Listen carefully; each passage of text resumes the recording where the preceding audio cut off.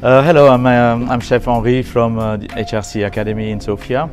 Uh, I'm in charge of this uh, cooking school and um, we today we hosted an event uh, in collaboration with Unilever and uh, about convenience bases and we are comparing the traditional way of making base with the convenience base and we expose our students to the tasting of, of both.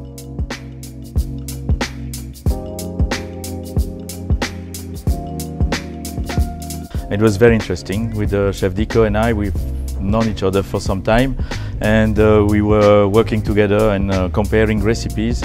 Uh, it was very interesting for our students. It's, in my opinion, it's really interesting to expose the students to this type of product since they're going to be uh, using them in the future anyway.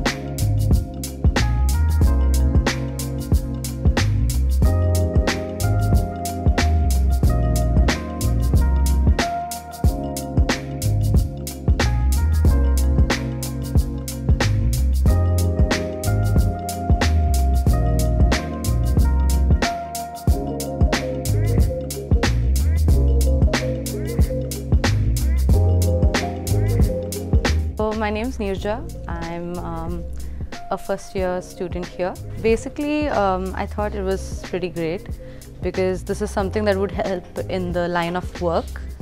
You know, last minute if any orders come in or if suddenly there's a catering, this would really help us. Um, flavor wise also it was pretty good.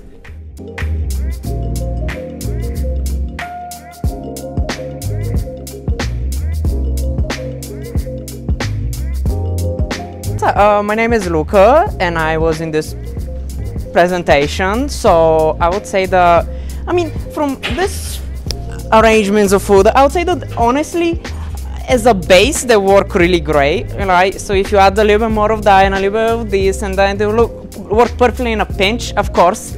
Working it by hand like the other chef did, they, we will produce like, you know, more delicious results, I would say. However, this will do the job when you need it right now or when you need like 30 liters of soup and you don't have 8 hours to make it so you grab one of which one? This one. And you do it